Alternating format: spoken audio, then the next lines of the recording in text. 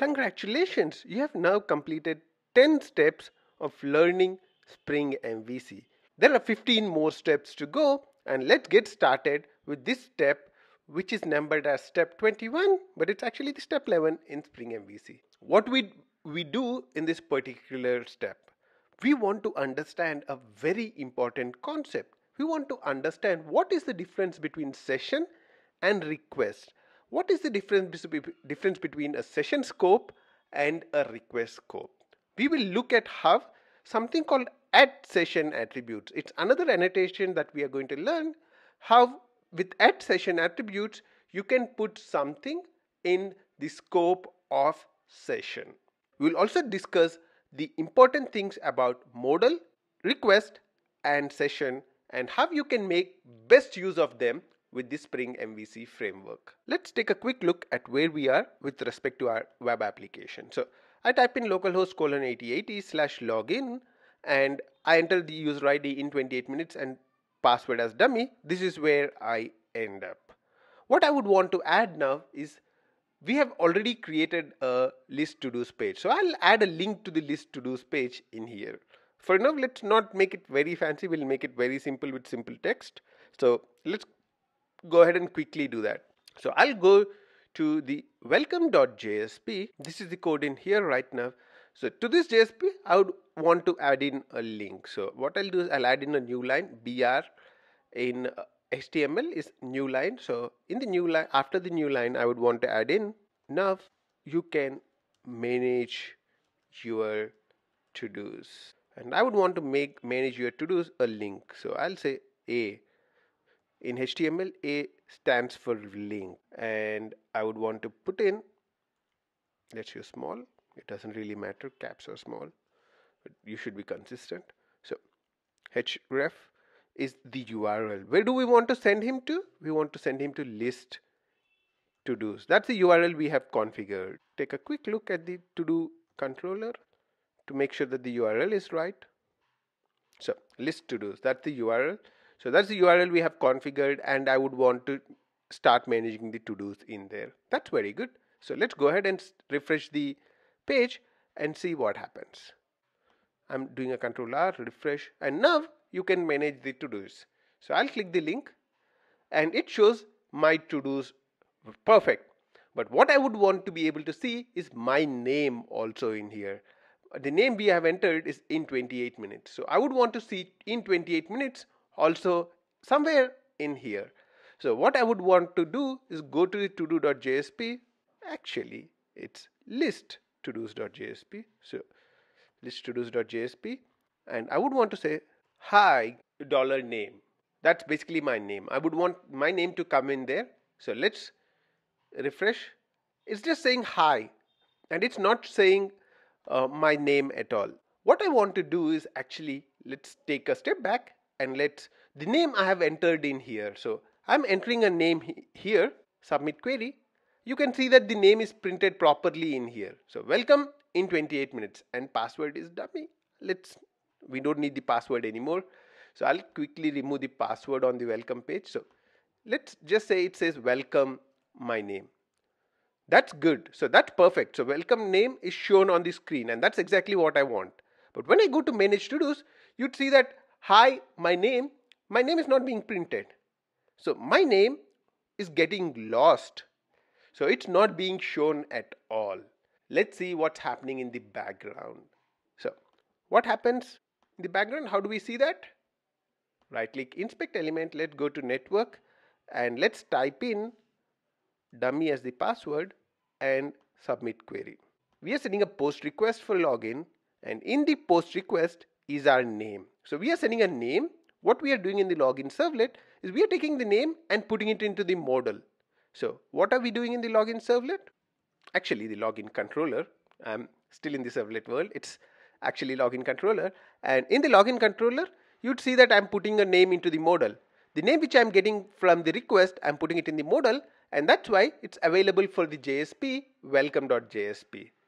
But after this, the name is no longer available because the next request manage your to-dos when I click this I'm clicking this it sends a get request but inside the params there is nothing in here.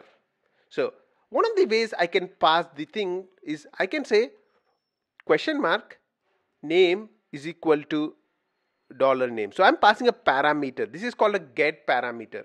So I'm saying name is equal to dollar name. Let's refresh the page and manage your to-dos and still it's not coming up because we have added in the name to the request. So you'd see that in the get request in the network tab if I select this you'd see that there is a parameter name in 28 minutes being sent but we are not putting it in the model yet. So the list to do's function controller. So let's go to the list to do's controller. Uh, actually it's to do controller. It's not adding, uh, it's not capturing the parameter which is being passed in.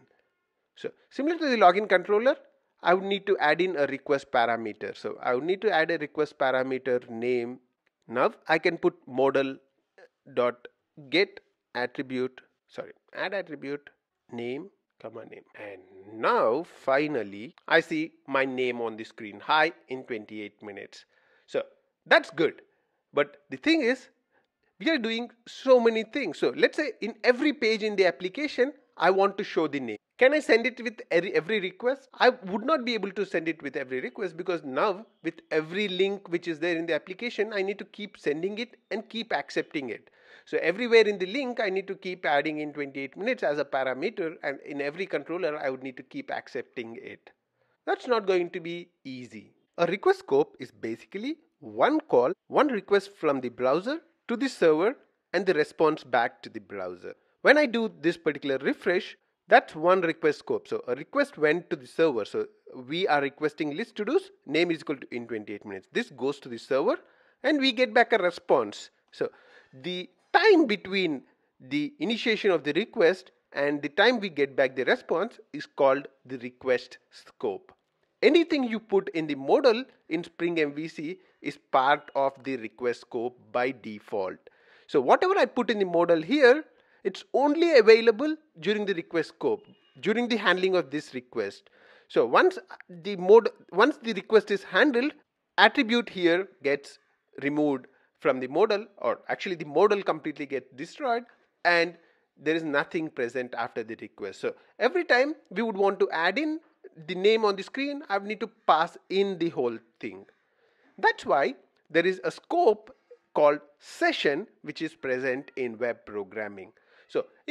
The name of the user who has logged in, so in 28 minutes is the name of the user who is logging in. And we would want to store this across the length of the user session. We don't want to keep putting it each time into the session. So that's where the session scope comes into picture.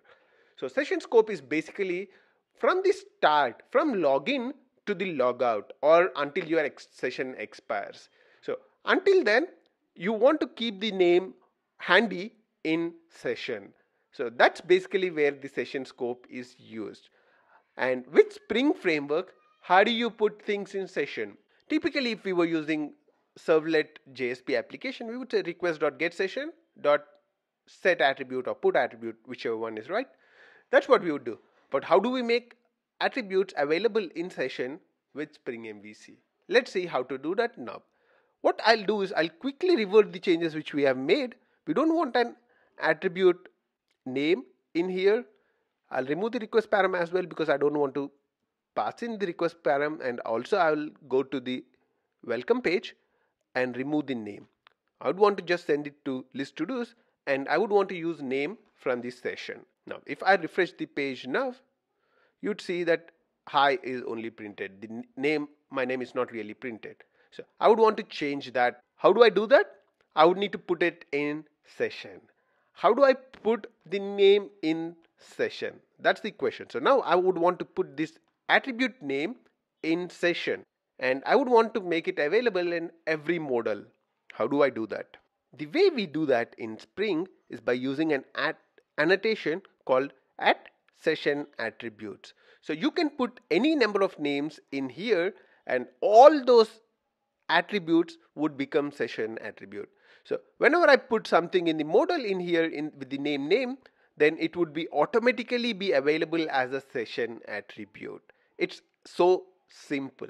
And with simplicity comes the complexity that it might be abused. So be careful about what you put in session. The only things which should be in the session should be the things which are really needed as part, I mean, which are nearly really generic across the application. Do not use session attributes to control the flow of a web application. That's really a bad practice. Everything that you put in session would occupy memory. Name is a simple thing, but let's say I'm putting a big object of size 1 MB in memory. Then this would live in the server memory for the duration of the user session, which is 30 minutes. And let's say there are 1000 such users. Then you are talking about 1000 MB of memory, which is just occupied by this particular thing. So be really careful about what you put in session. Now we have put an attribute in session. Now we want to make use of this attribute from session in the to do controller and what I would need to do is also put that in there. So session attributes name that's it let's see what would happen right now. I'll go back to login do a refresh on the login I've done a post so now it's there and now I'm clicking manage to dos and there you go. Hi in 28 minutes. You'd see that in the get we are not passing in the parameter name. So we are not getting it from the request parameter but actually we are getting it from the session. So we have set in 28 minutes into session and we have made use of it from session. Actually the change which we had to do was very simple. Just add an annotation at session attributes name and at session attributes name. As soon as we put this annotation what would happen is if we put anything in model that with that name which is in here it would become a session attribute. And also we can read it in the similar way. So as soon as I put at session attributes name that would be part of the model and so we can use that in the JSP. One thing you would have already noticed with respect to Spring MVC is we are not really talking with request or session directly. Always we are talking to model.